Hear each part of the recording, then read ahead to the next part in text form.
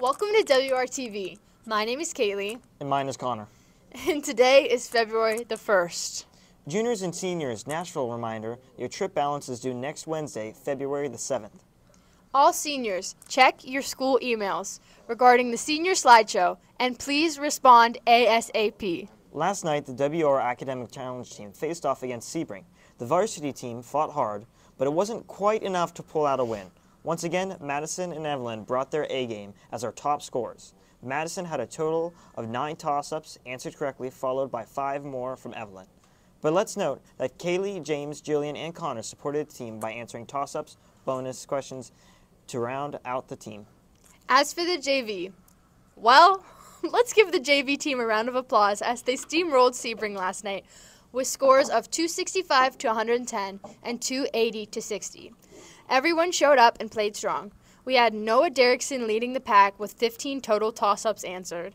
Tommy Janik had four, and Jaden Rockwell, Chase, Lawver, and Nick and Julie answered toss ups and bonus questions to bring a big win for the team as they head up the ranks. Good luck next week against Lowellville. And also, our results for yesterday's drawing competition Noah won, unfortunately. I did think his was the worst drawing. But that's all I have to say. That is all for today's announcements. And now, And now, and now, and now for what? and now for the weather. And now for the weather. Currently, I see Mr. Bente walking with a couple balls in his hands, but we're just gonna ignore that. As right now, temperature outside is a good 38 degrees. It feels like 42 right now, I'm not gonna lie. The high will be 49, the low a 31. That's all for your weather? Oh, no, not like that. I'm signing off.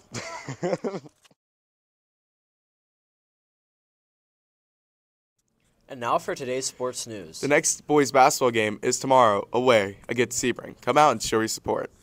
Tonight, the girls play away against Mineral Ridge. Come out and show your support. And that's all for your sports news. Afternoon. Tomorrow we're having iced donuts with sprinkles for breakfast. And for lunch, Papa John's pizza with garden side salad. Stay active, stay healthy, keep steady. Have a good day, Blue Devils. All right. We good? We good? All right. I'm here with uh, Nick, and I got Big Joe right here. How's it going? It's going. It's going. All right, Big Joe, spin it.